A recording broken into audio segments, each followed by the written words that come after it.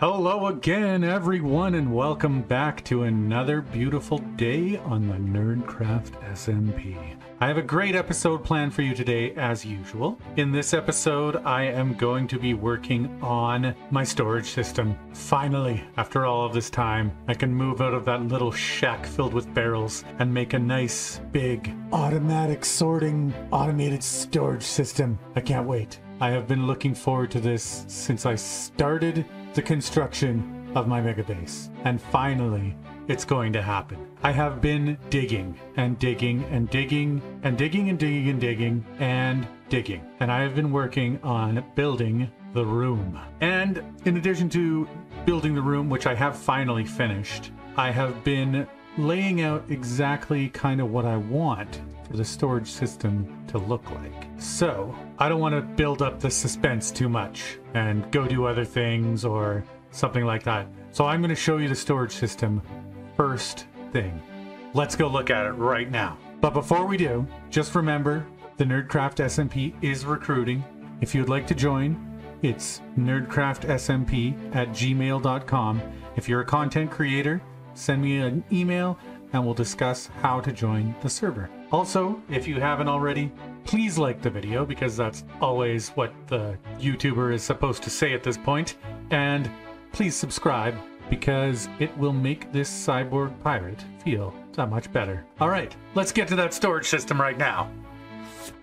So the area that I made for it is if you just come out my bedroom, then it's down these stairs right here, and then you'll come to the first section. So I have laid out here what it's going to contain, and this, if you don't know already, is a storage silo. So this is going to be my bulk storage section where I store my stuff that I'm going to have a lot of. And this was one that I just did up to test out the exact mechanics of how it would work. And in testing it out, I realized that I have a lot of stone. Like a lot, a lot. Additionally, a lot of that stone came from making this place, but I did not realize how much it was. It's a lot. So I put all of my stone into this system, and as you can see here, it's gotten up to that light. So it's getting pretty full. Now, one thing I have incorporated into my storage system is this right here is a shulker box. So this one here is full. So what I can do is grab a empty shulker box and then hit this button, pick up that one, and then when that goes down, I can put another one there and it'll start filling up. So what I've been doing with these is because if I just had loose stone, I would have more than can even fit in this silo. So what I've been doing is I fill up a shulker box and put it in this bottom one so that if I need a lot of stone, I can just grab as many shulker boxes as I need. And if I just need a few, I can just grab it from here. And then this right here is my dropper elevator that will be filling up all of the different storage silos. So there's the item filter and it goes across there, but eventually it's going to go all the way across. And then when you put stuff in here, it goes down into the system and then through the droppers. And then that will bring it into this, which will filter down into the system. And so this chest will fill up first just because of the way that these hoppers like to work.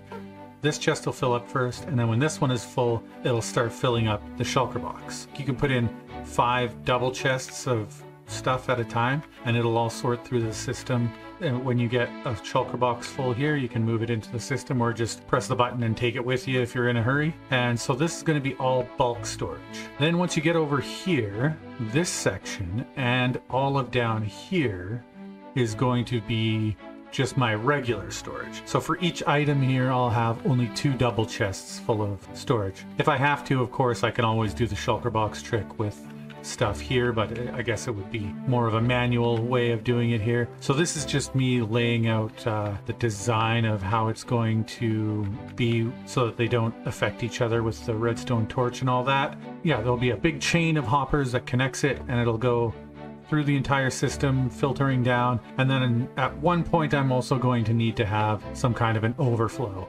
So initially, it's going to be set up so that these things don't have anything assigned to them. And then I'll start assigning what's going to go into this one, what's going to go into this one. And then, of course, these are going to extend all the way over. And then if I have something that's not assigned, it'll go into the overflow system. And then in that, if I see like I only have two of that or what, three of that, I can like have a system to sort it all. Like for example, stuff that's made out of wood, like usually I only have like three stairs and two doors because I only need one and I make have to make three. So I have like just a few things of stuff that's made out of wood. So I might just have a chest somewhere for just stuff that's made of wood. Maybe up up there I'll have like my random stuff, right? Because there's going to be sorters on that side, and then I'm going to have a bunch of free space right here. So here I can have my just random things, and then here will be all the stuff that will have its own sorting system. And then if I notice, hey, I've got you know, five stacks of doors, I can actually set them up with a system to sort them. Okay, so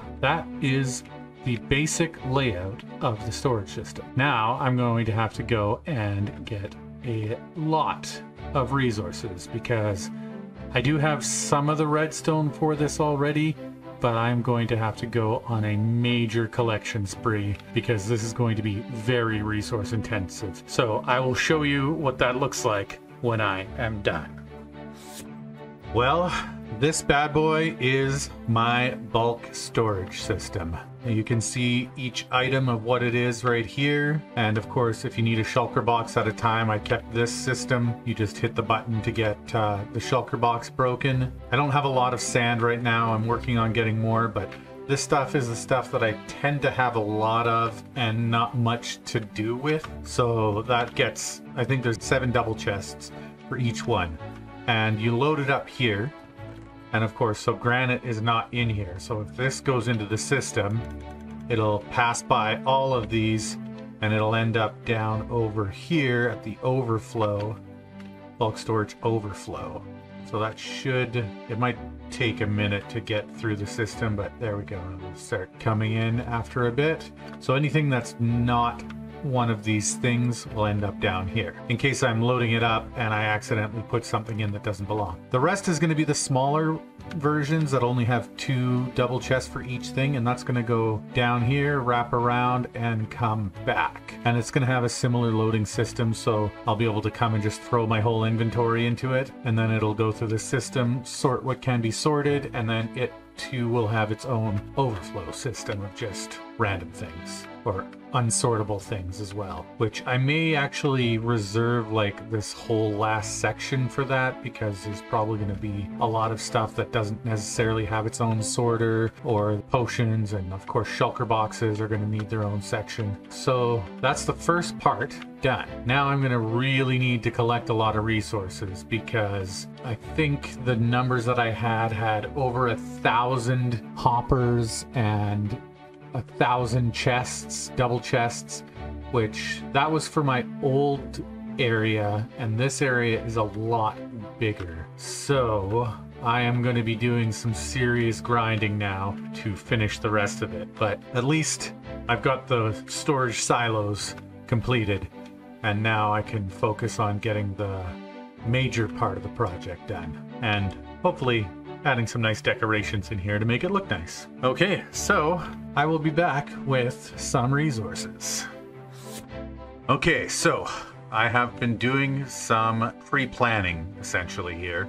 And what I've got going on here is going to be a double speed sorting system. So as you can see over here, it fits less chests uh, because I won't be able to essentially reach that high, but this should make it so that the sorting system can work double the speed. Now this is going to be the overflow right here, but essentially things are going to come down and then I got this design here from Ilmango in the SciCraft server. It's a three-year-old design but it does seem to still be working. You have this hopper facing down, and then you have this hopper completely filled up. I have yellow wool because that's what I'm using for my sorting system, so that's what I have the most of. So this hopper is completely filled up, and then this hopper is filled up like normal, and then this hopper will end up with just one in it. So the way that I made it double speed, hopper speed, is there's two hopper lines that go into the dispenser, one on the side and one on the top, and then that goes into the soul sand elevator, and it comes out this way, goes around the water, and then up against the chest, so it's half over the ice, half over the chest. And then it should go down along the double speed sorting system and pick up all the stuff. Now, the plan is to have it go down, wrap around, go up another bubble elevator, and come back and around again on top with yet another water line and some chests. And then the final product, which would be everything that doesn't have a sorter. Or what I noticed is that some of the stuff does make it past sometimes. So there might be uh, like a little bit of extra of things that go in the sorting system are going to come back and they're going to go into the overflow chests. So I guess that would be if it just happens to be going too fast for that hopper to pick it up. But usually I don't think it will. Like there's going to be when I'm initially setting this up and I'm bringing all my stuff from my main storage over to here, that's when there's going to be lots of stacks of everything. But most of the time, I'm just going to come empty out my inventory and let it go through. And there shouldn't be like five stacks of the same thing where it can't pick it up all at once. So hopefully, I won't have to do too much taking it out of here and putting it back into the system to get resorted, but we'll see. So now I have most of the yellow wool. I had to convert my wool farm into just yellow since I decided on yellow for the sorting system. Um, I have an insane amount of hoppers, repeaters, comparators, redstone dust, and redstone torches. So all I need to do now is extend this down over, down this way, up, and back around, which is going to take a lot, but we're Minecrafters. So uh, what do we do? We spend hours doing stuff like this. And that's what I'm about to do right now.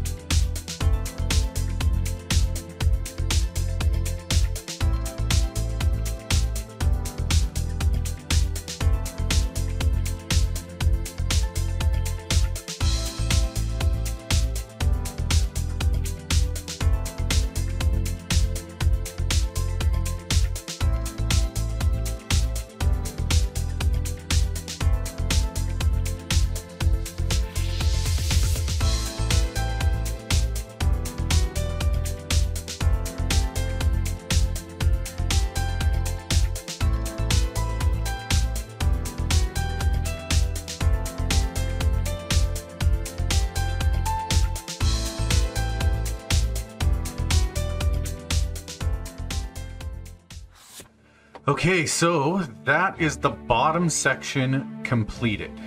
The reason why I paused here instead of making the time lapse go all the way is that I haven't exactly figured out block by block where everything needs to go to send the items that make it through this vast array of chests up to the next level because then it's going to go back all the way around and back through the overflow system. So I'm going to spend a little bit of time just figuring out how to make that work exactly. So I will be back after I do a little bit of a design for something to lift the items that make it through up to the next level and then back around. Okay, so I will see you on the flip side. Okay, so I think this is it. I was hoping to get these a little closer together, but I don't think I'm going to be able to. So it looks like in this situation, it's going to be a, a two block gap, but I'll still be able to reach what's on top. I'll just use the two block gap to have like a sign here saying what's here and a sign here saying what's up there. That way I'll be able to see what's at least in it a little bit easier. So the as the items come through here, they end up going through here, up the soul sand, and then snaking around so that they smash up against the chest. And then they'll be going down for another segment that is going to be just as big as this. This is probably the biggest storage system I have ever made. Actually, this is definitely the biggest storage system I have ever made. But I wanted to do it, so I'm doing it. So now that I know exactly how this is going to fit together, it's just a matter of repeating all of this all the way down and back. So I will do that again in the form of another time lapse.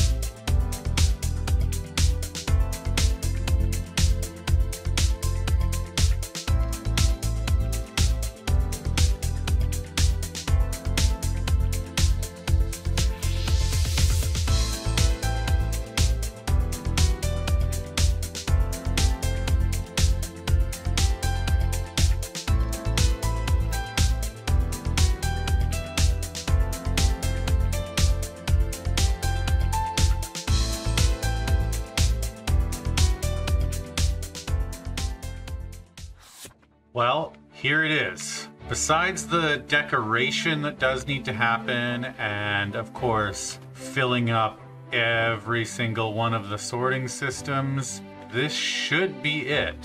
I'm very fortunate that I found the double hopper speed unloader from El Mango, so excited about that. So this should be a very fast working sorting system compared to most. Unlike the bulk storage system, that's going to be kind of when I just unload a bunch of stuff and it'll slowly tick its way through the system. This should be quite a lot faster, so I'm very happy about that. But yeah, I don't know if I'm going to get to it in this episode, but I definitely have to fill up all of these and then put item frames or something along those lines saying what everything is going to be. So that is going to be quite a monumental task of its own. But that is it. That is the giant storage system. And I built it here thinking that I didn't I wanted to avoid lag, but oddly enough, this doesn't create any lag. At least not in a way that's noticeable on the readout of the server. So that's pretty good at least. I guess I could have built it in my base, but it's probably better off that I built it here. So that is it for this episode as far as the storage system goes. It is definitely a thing of beauty, and it's only going to look better and better the more I get done. So at this point in the video, I just kind of want to show something off. During the week, Pedram was on, and he said he left me a little gift in the airship. So I went inside, and what did I find but this? A real-life steampunk robot with two heads. This is pretty much the most amazing thing I have ever seen. Like, I didn't even think in terms of building like this with copper and it's so perfect I can't even describe it with words. And it comes with a little instruction book here. Good evening, insert human's name here. We are Eliza and Al X, your personal robotic helpers. We can help you pilot your airship using commands such as if going to crash, don't. We are a smart robotic helper and will continue to learn more commands as our AI continues to process. Thank you for your hard work, insert human's name here, and congratulations on reaching 1,000 subs. Have a adequate continued human existence. Signed, Eliza and Al X. I think this is such a wonderful, wonderful thing, and I think I want like a hundred more in my base because it fits the style so perfectly. So big thank you to Pedram MC, and uh, I will be definitely doing some help for you because you've earned it with this. Thank you so much. Well, guys, that is going to be all that I have time for this week. Thank you so much for joining me. I always appreciate you guys watching these videos. I hope you enjoyed it. If you did, please remember to leave a like. And if you haven't already, please consider subscribing since most of the viewers are not subscribed and you can break that cycle. I hope you all have a wonderful week and I will see you next week.